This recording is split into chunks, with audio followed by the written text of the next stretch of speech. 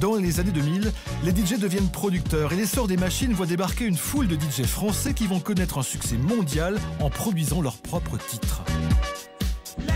Voici Lady par le duo français Mojo. Un an avant Alizé et son fameux Moi Lolita, Mojo se classe numéro 1 en Angleterre.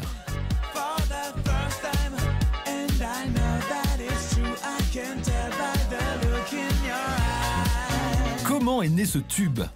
Voici Romain Tranchard, l'un des deux Mojo. Il nous raconte ce jour où il a écrit cette chanson qui a changé le cours de son existence. J'étais parti de, cet échantillon, donc ce sample du groupe euh, Chic.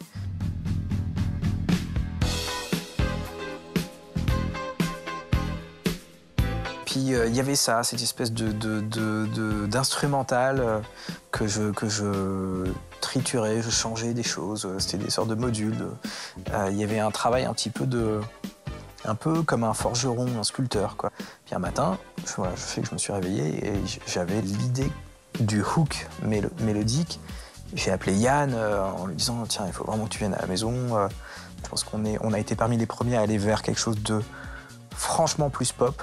C'est un morceau qui, fonctionne aussi en, bossa. Euh, on a fait une version de bossa nova qui n'a pas besoin du sample, qui n'a pas besoin de, de machine.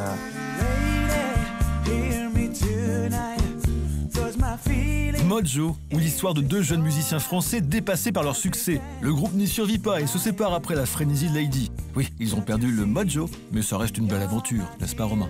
On a complètement euh, halluciné en, voyant la tournure que les, choses prenaient. Ce morceau a été numéro un des ventes de singles euh, et euh, dans le monde.